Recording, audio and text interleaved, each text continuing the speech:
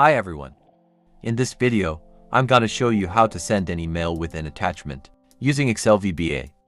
By just a single tap, you can automatically send your invoice to your customer by email. Before we get started, I've already explained in my previous video how to save an invoice as PDF using VBA.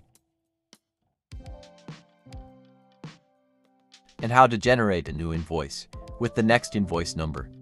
If you want to learn this first, check out the video in description. Let's get started. Open the VBA window. Insert a new module. Enter the code. Now change the code as per your requirements. Here, you will enter the cell where your invoice number is mentioned. Here, cell number of customer name.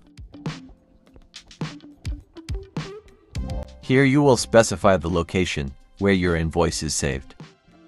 Let me show you an easy way to specify this.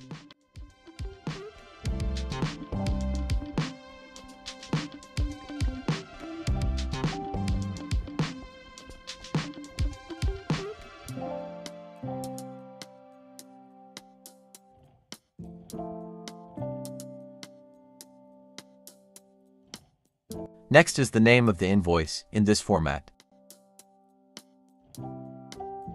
Here, enter cell of invoice month. Next is the contents of our email. Here, enter cell reference of customer email. Add CC if you want. Next is our subject line in this format.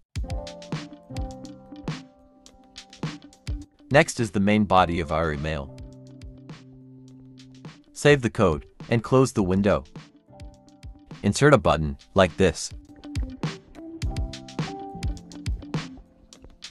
Assign the macro. Right-click to edit text. Let's try it out. First save the invoice as PDF.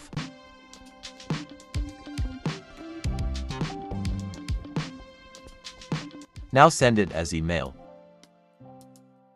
The Outlook application opens up automatically with the preset email contents. Now let's change the main body of our email by making some changes to our code. In the code, change the contents of the body of our email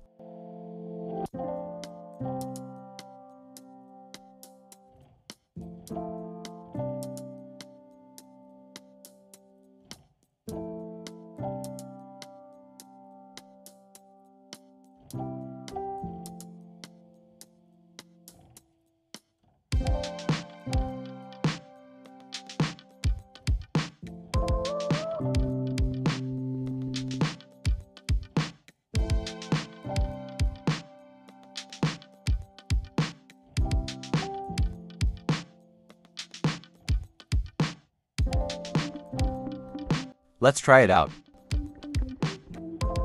Now you can make customized email by making changes to the code, as shown in this video. The code is mentioned in the description. If you have any queries, let me know in the comments. And make sure to like and subscribe